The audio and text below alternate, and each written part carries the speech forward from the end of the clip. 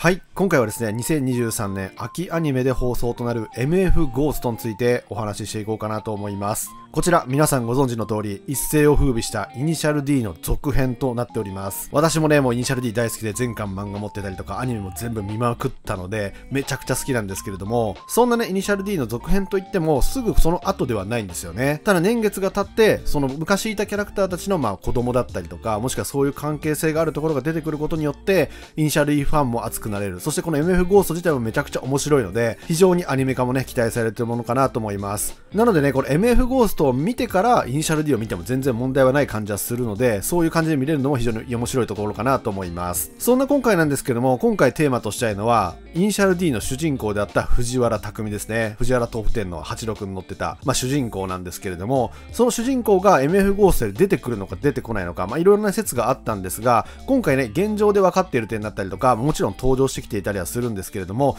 その中でどういう経緯をたどったのか、あのイニシャル D の後に何があったのか、その辺をね、ちょっと深掘りしていこうかなと思います。ぜひね、原作読まれてる方とか、もしくはイニシャル D は読んだけど MF ゴーストはまだだよとか、逆に MF ゴーストを見てイニシャル D を見返しているよっていう人、いろんな方がおられると思うんですけどれども、ぜひ藤原拓海についてのね、ご意見等あればコメントでお待ちしております。いつもたくさんのコメントありがとうございます。動画制作の参考及び励みになっております。では、早速本題に入っていこうと思います。まあ、冒頭にも簡単に触れたんですけれども、本編のね、ネタバレを含みますのでご注意ください。まずこの藤原拓海、もう結論から言ってしまうと、実は事故で引退してるんですよね。じゃあ、イニシャル D から MF ゴーストでは何があったのか、その辺をまとめていこうと思います。今回ですね、MF ゴーストについては、レッドサンズからね、プロジェクト D においても、まあちょっと雑用って言い方ちょっと悪いですけれども、まあその、マネージャー的な立ち位置でいた人物だったりとか、もしくは、匠の親父、文太の昔のライバルである小頭健の息子、小頭海が登場してくるなので、まあ、そんな感じでイニシャル D のキャラクターがどんどん出てくるんですけれども、匠はいつ出てくるのかなと皆さん思っていたことがあると思います。で、これについてなんですけれども、本編において秋山渡ですね、こちら86のレビンに乗っていたターボですね、途中からターボの形式を変えたりとか、まあいろんなところで出てくるんですけれども、86対86の戦いめちゃくちゃ熱かったかなと思うんですけれども、まあ妹のね、かずみちゃんはね、いつきとちょっといい関係であったりとか、まあそういうところもね、描かれていたりするんですけれども、非常に懐かしいキャラクターとなっていて、まあ、ゲロしながらでも走るってね、言ってたものが懐かしいかなと思います。で、この秋山渡がね、この MF ゴーストには登場するんですけれども、そこで語られていきます。で、この秋山渡なんですけれども、この MF ゴーストの世界では、MFG の運営理事の一人となっているんですよね。そしてこの MFG 第3戦の解説でいるんですけれども、その最中で語られることとなります。では、その内容を簡単にピックアップしていこうと思うんですけれども、まず藤原匠は、プロジェクト D の解散後、20歳の時に単身イギリスへと渡っております。まあ、プロジェクト D の時は、藤原匠っていうのは高校を卒業して、トラックの運送会社で働きながらプロジェクト D をやっていたんですけれども、関東を制覇してからもうそこで完結してしまったんですが、その後ですね、もちろんプロの道へと目指すようになるんですけれども、イギリスへと渡っております。で、この時秋山渡から語られたのが、20歳の若さで資金もコネもなく、単身投影をしてしまう度胸には驚かされました。英語もろくに話せない男ですよと語っております。まあ、この辺に関してもね、藤原匠のこう色がすごい出てるんですよね。基本的に藤原匠はもう切れているキャラクターと言ってもまあ間違いではないかなと思うんですけれども、こういう思い切った部分ってすごいあると思います。こういうところも生活というか人生においても、プロのレーサーになるにおいても、すごい決断を下したということがわかるんですよね。そして、イニシャル D の最終回では、プロジェクト D は解散しましたが、メンバーともその後は、匠を含めて分かっていませんでした。匠はプロのチームからオファーが来ていると言われていましたが、原作では変わらずこう豆腐を配達している場面ありましたよね。もちろんね、高校卒業後、プロジェクト D の時にもやっていた運送会社を辞めて全てを捨てて単身イギリスへ渡ったことが明らかとなっております。そしてイギリスではね、ラリーの道へ進むんですよね。そこで頭角を現し、タイトルを何度も獲得し、WRC、まあ、世界ラリー選手権にもスポットで参戦しております。まあ、舗装路での速さに定評があり、フライングジャン、空飛ぶ日本人と異名を取るまで有名なラリードライバーとなったんですよね。この舗装路ってところもまたいいですよね。行動だったからこそってところが繋がっているかなと思います。で、トヨタ自動車とプロドライバー契約を結んで、WRC のフル参戦に準備を整った最中に、